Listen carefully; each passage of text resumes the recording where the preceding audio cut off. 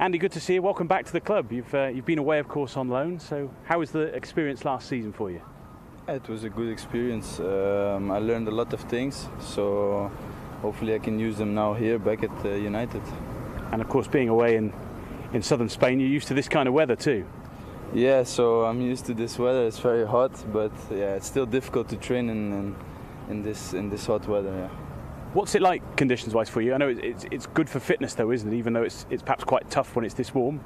Yeah, it's it's very hot, so it's good that to get some toughness now for, for the season. So we get used to it, and it's good to get training in, in this weather too. Yeah. And I know you enjoyed last season, but good to have that badge back on your chest, the Manchester United badge, and be back with the squad. I'm guessing. Yeah, I'm, I'm very happy I'm back, and uh, I can make part of, of this team, and uh, I try to do my best to stay here and, and get an important role for, for next season and to help my teammates and impress, impress the manager. What's it like when you've sort of been in the United ranks for a good while and then you head out on loan and you end up sort of watching from the outside, watching results, watching performances, and thinking about what you could add to the team?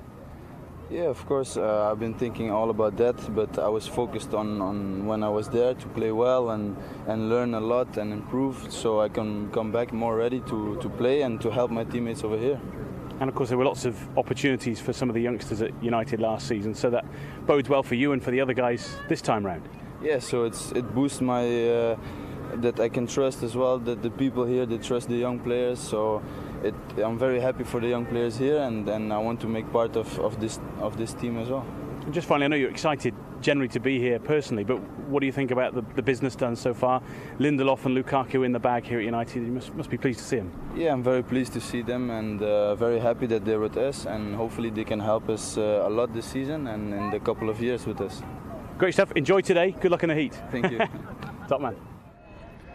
Good luck to Andreas Pereira. It's swimming pool weather here in LA. What goes on tour later on MUTV? Bye for now.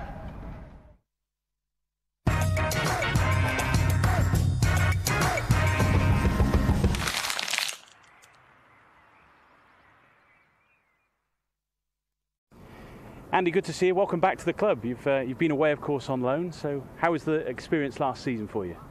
It was a good experience. Um, I learned a lot of things, so hopefully I can use them now here back at uh, United. And of course, being away in in southern Spain, you're used to this kind of weather too. Yeah, so I'm used to this weather. It's very hot, but yeah, it's still difficult to train in in, in this in this hot weather. Yeah.